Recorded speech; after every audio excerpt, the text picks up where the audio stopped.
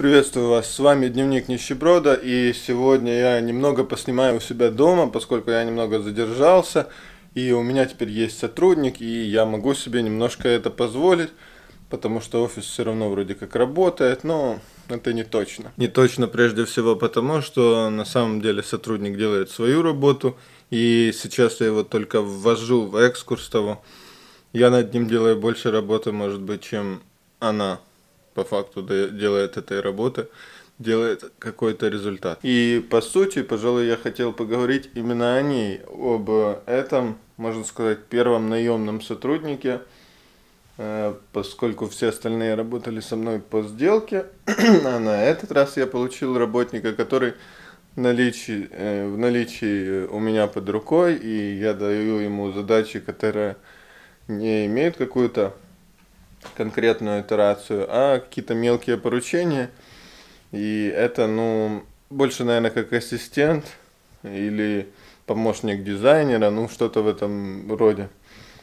Вот, и это новая профессия. У бизнес-молодости это называется многорукий руконог. Конечно, это очень любопытно, это новый опыт, и на самом деле, когда я смотрю какие-то наши ну, роли, я пересматриваю то время, когда я работал, допустим, у Якуша или у Сиротова, и был на ее месте, а Сиротов или Якуша на моем теперешнем.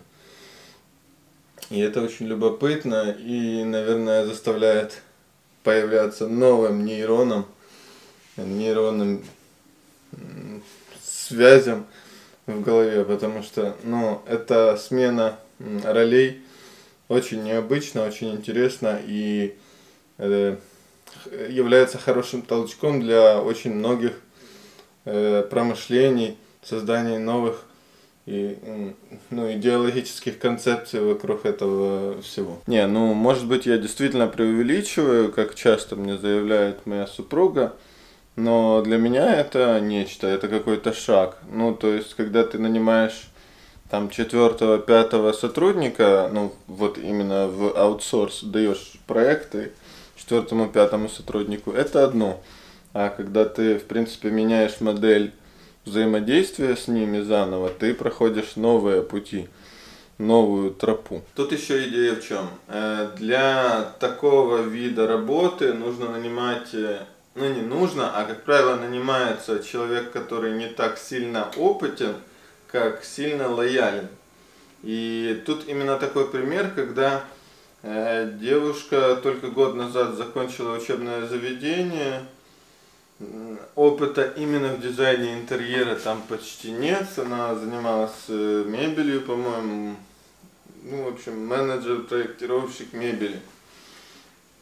В этом есть сложность, потому что ты абсолютно, ну, очень много всего объясняешь, но ты, ты делаешь это с расчетом инвестирования в человека, который потом будет тебя совсем с полуслова понимать.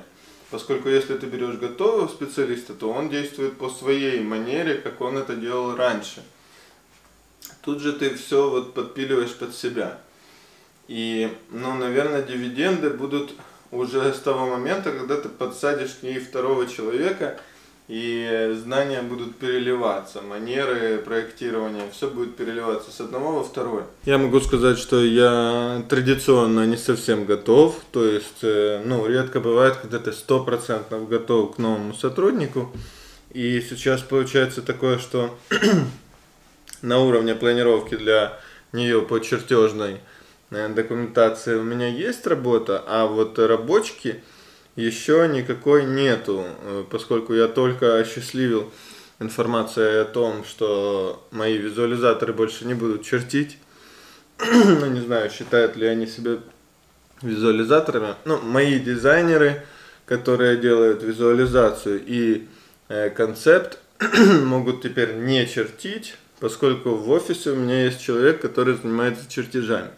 В общем, эта информация пока что еще не была донесена всем, и работы сейчас для нее уже нет. То есть она сделала, ну, там, пять вариантов планировки. Сейчас мы правим чертежи, за которые деньги уже не приходят. Но, тем не менее, я сразу ей сказал, что будет две недели испытательного срока, того пока что ну, нету большого спора, но я на самом деле не очень готов со своей стороны. Вообще я очень долго ничего не записывал и потерял, возможно, какую-то квалификацию, но за этот период паузы я немного изучил Кейси Нейстета и надеюсь, что э, дальнейшие мои видеоролики будут немного интереснее, они будут дополнены ну, операторскими и монтажерскими фичами. Ну, я так пока что рассчитываю. Не знаю, хватит ли у меня времени и энергии на все эти прибамбасы, поскольку это фактически его ремесло, а я-то занимаюсь этим как в формате хобби. Но, тем не менее, я не терял время, но голос мой, наверняка и речь очень сильно просели. А еще я после болезни того вообще вот это все на самом деле эксперимент продолжается, его результатов пока нет. Для меня еще остается загадка, на какую сумму она согласится, потому что ну, ту сумму, на которую, возможно, она рассчитывала, которую я заявил на сайте э, по работе, но я точно на нее не могу выделить, потому что нету той продуктивности. Максимальной загрузкой я ее не испытал, того я не могу еще это объективно заявлять.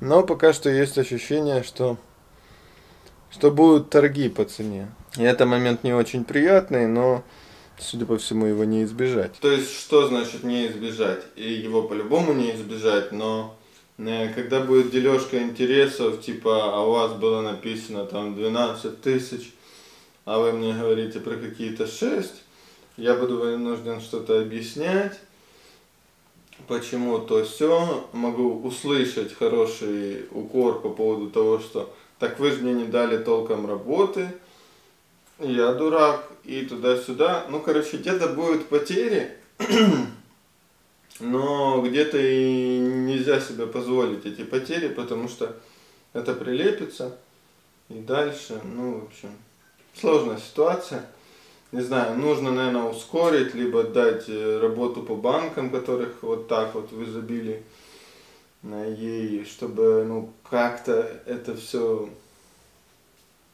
ну, для того, чтобы у девочки была хорошая зарплата, чтобы мне ее было не жалко, не, я не свои отдавал, а заработанные, ну, хотя бы в ноль от нее. Все все равно ради того, чтобы через полгода она пекла рабочку так, что я бы не успевал ей э, клиентов предоставлять, ну и всех своих визуализаторов, все. То есть, чтобы был поток и стопроцентная там эффективность максимальная. Но вот сейчас это все инвестирование и хочется как можно меньше вложиться, безусловно, поскольку я уже временем влаживаюсь, но и деньгами живыми приплачивать Просто можно неправильно поставить, поставить неправильно вот этот ритм, и потом, ну, в общем, не знаю. В общем, это еще тема для рассуждений, с которой я стыкаюсь впервые, потому что всю жизнь с 2007 года я плачу людям по сдельной оплате. Все для меня очевидно, мотивация их понятна, мотивация моя понятна, я им всячески помогаю, но зарабатываю чисто на них, без всяких обязательств со стороны их, ну, какого-то там безделия, я его никогда не оплачиваю. А сейчас, сейчас что-то поменялось. Мне нужно, чтобы человек работал как нужно. Ну, что тут скажешь? Это моя игра, я буду в нее играть, продолжать играть, выигрывать, проигрывать. Но вот этот влог был именно по этой теме, по теме наемных сотрудников, по теме моего первого наемного сотрудника, что я переживаю определенно, ну, сложно, ну, то есть э, многогранно, э, всеобъемлюще, разносторонне. Я переживаю этот момент очень многозначно. Это не просто почему-то. Может быть для меня именно непросто, может быть это в принципе непросто, может быть для всех значимо. Но вот сейчас такой момент. Поэтому я решил записать это видео. Вот. Также я познакомил вас с какими-то частями своей новой квартиры. Буду рад, если вам понравится, и вы поставите лайк, подпишитесь и тому подобное. Но в любом случае, спасибо за просмотр. Если вы досмотрели до этого момента, то я уже очень рад. Спасибо, до свидания. Живите богато.